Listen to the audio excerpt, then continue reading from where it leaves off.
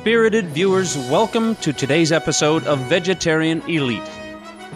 We are about to meet two young, very accomplished Canadian athletes who will share their personal stories of their outstanding achievements in their respective sports, and most importantly, how a plant based diet helped them to achieve such great athletic triumphs. Allow us to introduce to you Jessica Sedlock. At age 21, Jessica is an adventurous, successful Canadian athlete and aspiring 2012 Olympian. She is a distance runner, power coach, and advocate for plant based nutrition. Some of the highlights in her biathlon career include a silver medal at the Canada Winter Games in 2007, three national titles in 2008, and overall North American junior champion in 2009. She has recently retired from the biathlon sport and is now focused on distance running for the 2012 Olympics and changing the way the world eats. She is a vegan on the go. Now let's meet Sven Winters, a 21 year old Canadian athlete with a passion for ski cross racing who has already achieved much in his field. He ranked second at the Canadian Nationals and finished third on the North American Cup Tour. In addition to being British Columbia's Ski Cross Athlete of the Year for 2009, Sven has also been placed in Canada's top 10 and ranked 14th in the world for his age. His lifelong dream is to compete and win at the Olympics. And very interestingly, Sven grew up as a vegetarian. Our guest athletes share with us the recipes for their success. Well, it's, it's very simple. It comes down to a lot, a lot of hard work. Like, I guess myself personally, I was never a gifted athlete, I was never a talented athlete. Um, I just kept going. I just kept focused on my dream and just kept going. And then these things pop up, I guess. I've been in sport my whole life and I, I love sports, absolutely love. So, yes, it is a lot of hard work, but when you love it, it's so much different. It just has such a different meaning. So, to really have a passion for what you do, I think will ultimately lead to success. So, love of the sport, drive, and hard work are the key elements. But what distinguishes Jessica and Sven from many other athletes? What makes them truly successful in their field? We asked the good friends to comment on each other's strengths. Sven had this to say about Jessica. she trains harder than any other athlete I've ever met. More hours, earlier hours, longer hours.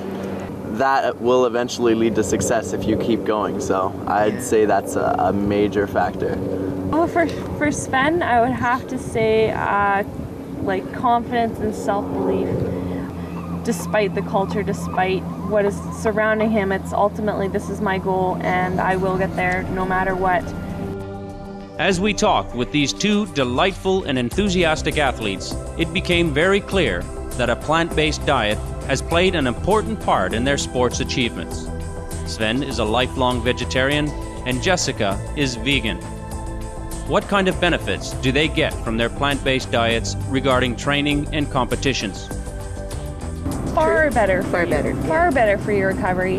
Um, I mean, for example, the year that I went vegan was the year that I was junior champion in all of North America. So that proves right there. Um, I was traveling all over Europe that year with a team of eight people. Six of us were sick, and two of us were not, and I was one of them. So, so it just it goes to show that you stay a lot healthier too, which is part of an athlete's game for sure, is staying healthy.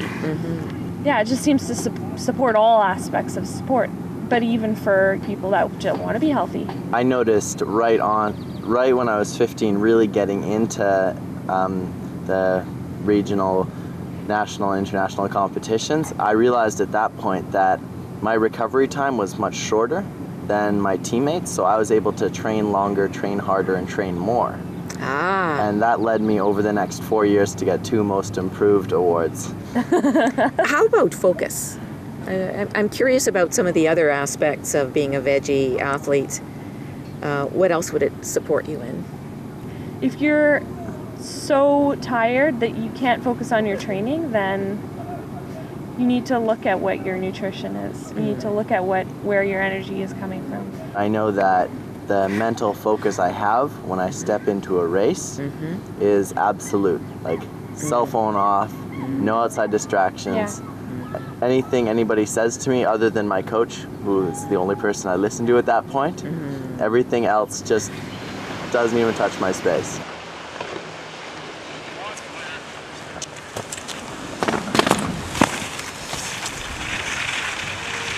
And what does the plant based diet of the champions consist of? For me, it's just emphasis on whole food, emphasis on fresh, and getting as many fruits and veggies as I can fit in or as I can pick up wherever I am in the world. From No processing. Whole grain, Ah. as little processing as possible, Okay. um, and as much as possible. Quinoa Not- every morning. Quinoa or oatmeal every morning. Morning. Okay. And everything goes from there. Eat what gives you energy and not what takes it. Really learn your body because everyone is a little bit different. Mm-hmm. I, from experience, have found that a vegan diet is certainly the best beyond, but maybe bananas don't work for everyone, right? Ultimately, eat um, what makes you feel good and what gives you the most energy. As we have seen, an animal free diet certainly takes you to remarkable levels of achievement. How about certain roadblocks that athletes might encounter in training or competition? What tips do Jessica and Sven have for overcoming them? the mental aspect of sport is so huge.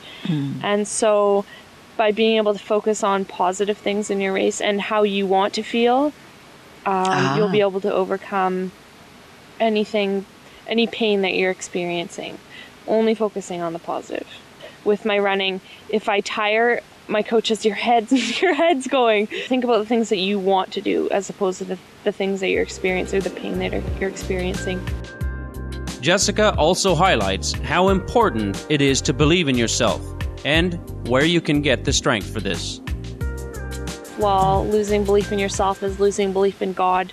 Mm. So you just need to come back to it and realize that inside you is God, and it doesn't matter what anyone says. It doesn't mm. matter what anyone thinks. It only mm. matters what you think. Because it is paramount for athletes at this level to have a tremendous ability to concentrate, would meditation help to achieve this? Um, for me, meditation very much brings me back to myself. Mm-hmm. And if you're yourself, you have unlimited amount of belief. what I do right before I step into a start gate or do a difficult uh, training exercise, mm-hmm. um, I mean, you could kind of look at like a meditation because I silence everything out and it's just a mm. quick physical cue ah. that I use, a mm. pair of them. You could call it meditation. How about their goals in the sports field in general? What is it that these two remarkable young athletes seek to achieve? My goal is very simple. Uh, one, win the Olympics. Two, empower others to achieve what I've accomplished and more. Um, leading by example is the strongest way to lead. So if I can get to that level and win the Olympics, I'll be able to empower so many other people, the entire next generation and my generation, to achieve greatness. Along with their sports careers, Jessica and Sven are also active environmentalists. They travel to schools and talk with teachers and students about climate change, environmental issues, and how a plant based diet is the major solution to global warming. Jessica tells us about Clean Air Champions, a Canadian charity, and her involvement in it. So, Clean Air Champions is represented by 150 national and Olympic team athletes from across Canada. And the goal is to uh, raise awareness about global warming and then introduce the schools to different programs. Um, I am working at the moment in getting a program put together for veganism because I think that would be such a, a great addition um, to the number of programs that Clean Air Champions offers. And so the, the goal of this program is really just to inspire kids to um, up their up their activity level and also think about more sustainable things that they can be doing for the environment. Mm-hmm.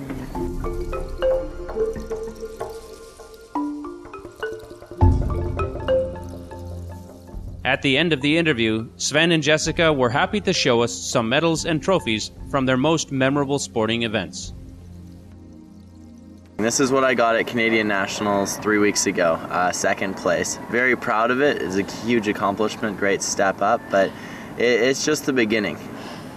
It's just for me to show that hard work pays off. So it's nice to uh, stand on the podium after a lot of hard work. Mm-hmm. This one here, I just picked up uh, this weekend. Uh, it was for the BC Ski Cross Athlete of the Year. This is the second year in a row I've received this trophy. This here, uh, this was from the North American Cup Tour. Um, there were five races for the North American Cup this year. This was the first year we had a North American Cup finals, and I came third on the overall. And then it was Jessica's turn. Okay. walls of them. No, that's not true. that's not true. okay, so um, starting with the earliest one. Well, this medal I got in 2007 at um, Canada Winter Games, and this is a games that comes every two years in Canada. It's basically like the Olympics for Canada, and I was really excited to go because um, I was the youngest person on the team at this point, and I qualified. So I was racing the senior girls and actually came out with a silver medal. So these are all biathlon, yeah. Okay. Mm-hmm. And then um, shortly after getting this medal, I got an I got uh, this is an award from Gordon Campbell, and it's a Premier's Athletic Awards. It just says, presented to Jessica Sedlock in recognition of your outstanding athletic achievement during in the sport of biathlon in 2007. So next we have this medal. This is uh, national championships last year. This was the last year that I competed in biathlon, so 2009 silver medal. This is all the American biathletes as well as Canadians, and this silver medal. This was the North American Cup Series, all gold medal. And then this was actually when I was the overall 2009 North American Championships. I got this one, so that was um, fastest junior in North America for 2009 overall. Truly remarkable achievements. We want to express our gratefulness to these two accomplished and kind hearted individuals for their shining examples of determination and elevated ideals. We are also thankful to them for sharing with us their experiences and the numerous benefits of a plant based diet, the diet of champs. I hope I've been an inspiration and can uh, inspire you to achieve whatever it is that you want to achieve because it's possible as long as as long as you commit to it. So if everyone does their part, then we all come together as one and can be in such an amazing environment. Yes. So it starts with changing yourself, changing your beliefs, um, becoming what you want to be. And in doing that, everything will be inter- interconnected and perfect and as it should be.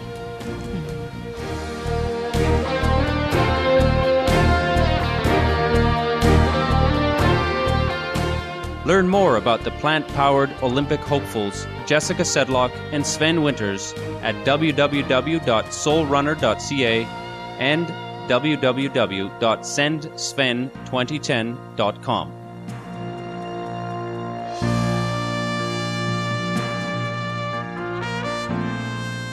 Health conscious viewers, we appreciate your company today on Vegetarian Elite.